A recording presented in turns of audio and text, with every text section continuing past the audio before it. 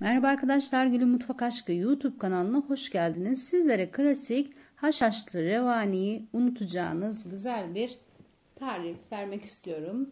Nedir bu revaniyi diğerlerinden ayıran diyorsanız içerisindeki bol aromalı misket lokumu. Gerçekten şahane bir tarif oldu. İnşallah sizlerin de beğeneceğinizi düşündüğüm tarifimi paylaşmak istedim. Gelin dilerseniz nasıl hazırlamışım, hangi malzemeleri kullanmışım yapım aşamasında videomda sizlere anlatayım.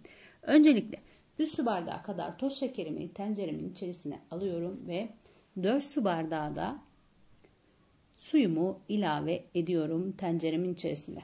Bardak ölçümü neyi ne kadar kullandığımı da yine yazılı olarak videomun altında belirteceğim. Oradan da takip edebilirsiniz neyi ne kadar kullandığım. Gördüğünüz gibi şerbetimi ocağıma bırakıyorum ve ben bu arada hamurumu hazırlamaya başlıyorum. 3 tane yumurtamı kabımın içerisine aldım ve üzerine bir çay bardağı kadar toz şekerimi ilave ediyorum ve köpük köpük oluncaya dek toz şekerim ve yumurtamı çırpacağım. Az önce de bahsettim. Bardak ölçümü neyi ne kadar kullandığımı da yine yazılı olarak videomun altına belirteceğim. Oradan da tarifimin malzemelerini bakabilirsiniz neyi ne kadar kullandığımı. Gördüğünüz gibi köpük köpük olmaya başladı. Yumurtam ve toz şekerim ve içerisine diğer malzemelerimi ilave edeceğim. Öncelikle bir çay bardağı kadar sıvı yağımı, bir paket vanilyamı, yarım çay bardağı kadar sütümü ilave edip şöyle bir karıştırıyorum. Görüyorsunuz İçerisine sıvı malzemelerimi ekledikten sonra bir çay bardağı kadar haşhaşımı ve bir çay bardağı kadar da irmiğimi ilave ediyorum ve karıştırmaya devam ediyorum. Gördüğünüz gibi karıştırmaya e, karıştırma işlemi bitti ve içerisine öncelikle 5 yemek kaşığı dolusu unumu ilave ediyorum ve unumu ilave ettikten sonra gördüğünüz gibi hamurun yoğunluğuna bakıp un ilavesi yapacağım. Bir tane van, e, kabartma tozumu da içerisine ilave ediyorum. Gördüğünüz üzere ve hamurumun yoğunluğuna bakıyorum ve bir yemek kaşığı kadar daha içerisine hamurumun ilave edeceğim unumu. Toplamda 6 yemek kaşığı kadar revanemi hazırlamak için un ilavesi yaptım. Gördüğünüz gibi haşhaşlı revanimin hamuru hazır ve kıvamda gayet güzel oldu. Şerbetim de kaynadı. Görüyorsunuz ve altını kapatıp soğumaya bırakıyorum şerbetimi. Bir çay kaşığı kadar margarinimi gördüğünüz üzere kek kalıbımın içerisine her bir tarafını yağlıyorum. Her bir tarafını yağlarsanız e, hamurunuzu piştikten sonra kolaylıkla çıkartabilirsiniz. Kesinlikle her bir tarafını güzelce yağlamanız gerekiyor kek kalıbınızın. Gördüğünüz gibi revanimizin hamurunu kek kalıbımızın içerisine ilave ediyoruz. Ve sıra geldi içerisindeki aromayı bırakacak tarifimizin şahane lokumlarını ilave etmeye. İçerisine misket lokumlarımızı ilave ediyorum.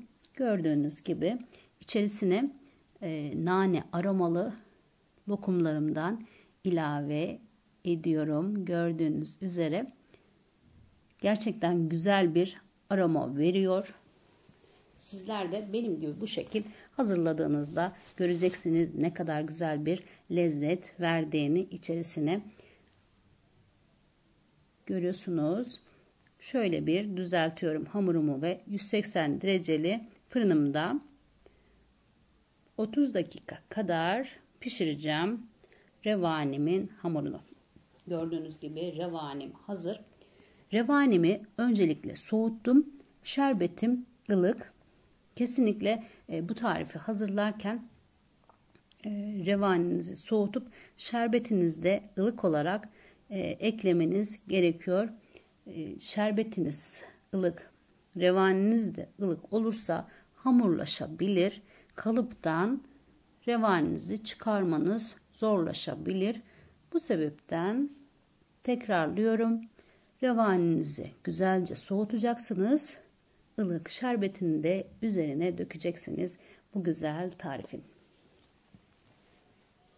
Gördüğünüz gibi soğumaya bırakıyorum.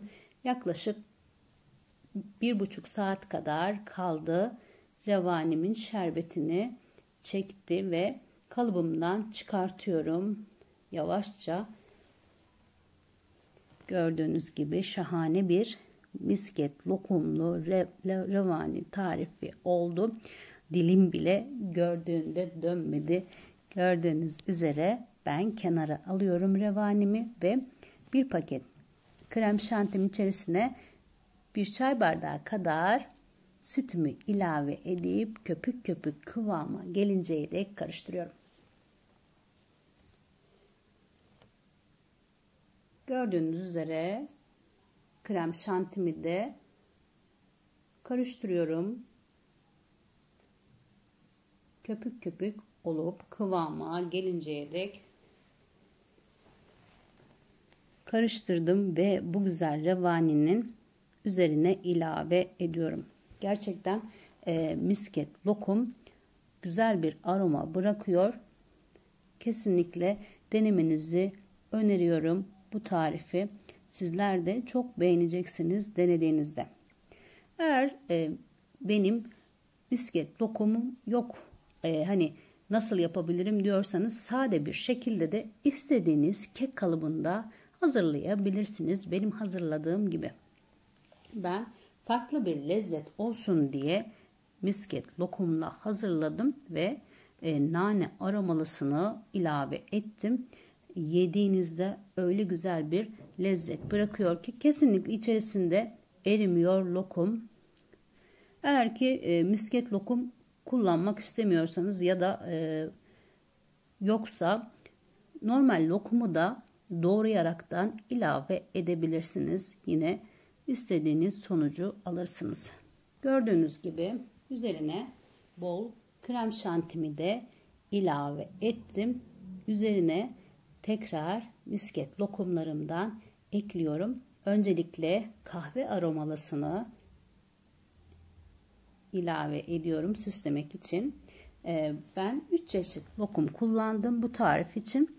Kahve aromalı süslemek için gül aromalı ve nane aromalı olarak 3 çeşit lokum kullandım. Nane aromalısını içerisine ve e, üzerine kullandım.